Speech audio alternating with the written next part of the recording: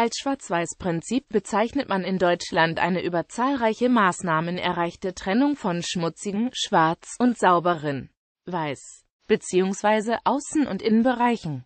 Durch dieses Prinzip soll eine Verschleppung von unerwünschten Stoffen insbesondere durch Personen vermieden werden.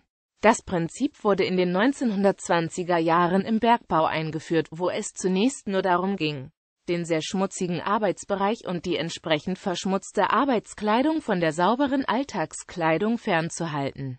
Eine weitere wesentliche Bedeutung hat das Schwarz-Weiß-Prinzip heute im Bereich der Hygiene, um die Übertragung von Krankheitserregern zu vermeiden. Sowie bei Dekontaminationsplätzen Zivil- und Katastrophenschutzprinzip.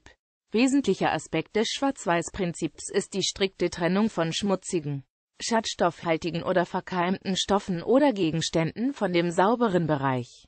Hierzu gibt es zweifach weitgehend identische Umkleideräume, die nur durch eine Dusche getrennt sind. Der Arbeitnehmer betritt im sauberen Zustand den Umkleideraum weiß, entkleidet sich dort vollständig, geht dann in den Umkleideraum schwarz, indem er die unreine Kleidung anlegt. Kommt er schmutzig oder verkeimt zurück, dann geht er in den Umkleideraum schwarz, entkleidet sich wieder vollständig geht in die Dusche und nach dem Duschen in den weißen Umkleideraum, wo er die saubere Kleidung wieder anlegt. Dieses Prinzip wird auch umgekehrt angewendet, so dass der Außenbereich mit der Privatkleidung als schmutzig, schwarz in Bezug auf den sauber zu haltenden Innenbereich angesehen wird. In diesem Fall sind ebenfalls entsprechende Maßnahmen zu treffen, so dass über den Körper keine Verschmutzungen eingeschleppt werden. Verbreitung durch seine hohe Effizienz hat dieses Prinzip nunmehr auch außerhalb des Bergbaus eine hohe Verbreitung. Weitere Einsatzbereiche sind heute die Abwassertechnik, aber auch bei Umgang mit gesundheitsschädlichen Stoffen. Große Anlagen der industriellen Landwirtschaft setzen es aus hygienischen Aspekten ein. Im solchen Fall ist das Schwarz-Weiß-Prinzip für jeden landwirtschaftlichen Betrieb verpflichtend vorgeschrieben. Laboratorien müssen, unabhängig von ihrer Größe, je nach Verwendungszweck eine Schwarz-Weiß-Trennung einhalten. Ähnlich der Bedeutung im Bergbau wird das Schwarz-Weiß-Prinzip im Bereich der Altlastensanierung angewendet, so etwa bei der Sanierung von Asbest. Einem abgesperrten Schwarzbereich, in dem mit und auf kontaminierte Material gearbeitet wird, ist ein Weißbereich vorgelagert. Im Übergang der beiden Bereiche befinden sich Duschen und oder Dekontaminationsanlagen die das Ablegen der Schutzkleidung und die Reinigung erlauben.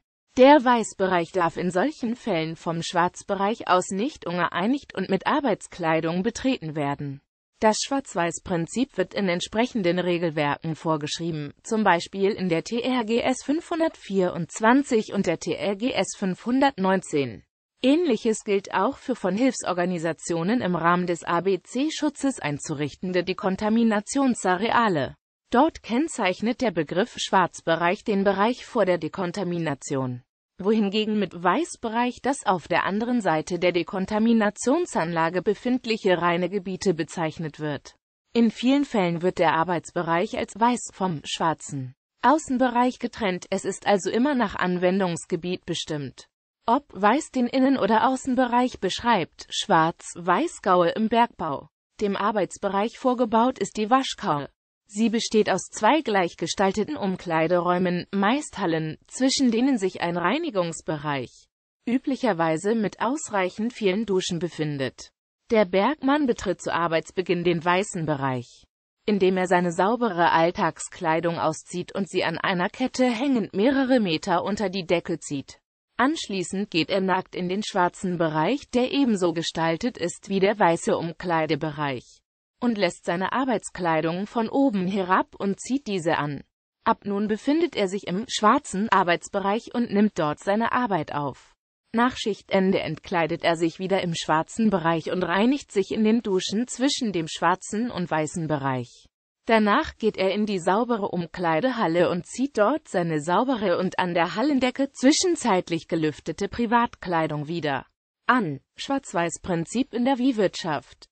Der schwarze Außenbereich, der als potenziell mit Krankheitserregern kontaminiert angesehen wird, soll so vom weißen Innenbereich getrennt werden, dass eine Übertragung von Krankheitserregern erschwert oder verhindert wird. Arbeiter müssen sich vor dem Gang in die Stallgebäude in einem schwarzen Umkleideraum komplett entkleiden. gelangen durch eine Dusche in einen weiteren, weißen Umkleideraum, in dem sie ihre Arbeitskleidung anlegen. Alle Personen, die in den Stall wollen, müssen durch diese Hygieneschleuse. In großen Betrieben gibt es für beide Bereiche einen eigens bestimmten Fuhrpark, bei kleineren Betrieben ist es zulässig, aus dem Schwarzbereich mit Fahrzeugen durch Desinfektionswannen einzufahren. Die Ställe mit Schwarz-Weiß-Trennung sind untereinander mit geschlossenen Laufgängen verbunden. Die Einhaltung des Schwarz-Weiß-Prinzips ist in Deutschland gesetzlich geregelt.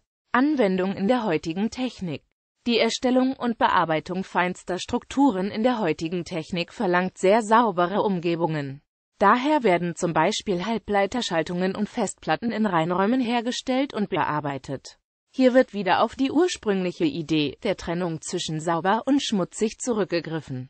Allerdings wird nun der Arbeitsbereich als sauber, weiß und nicht wie ursprünglich im Bergbau als schwarz betrachtet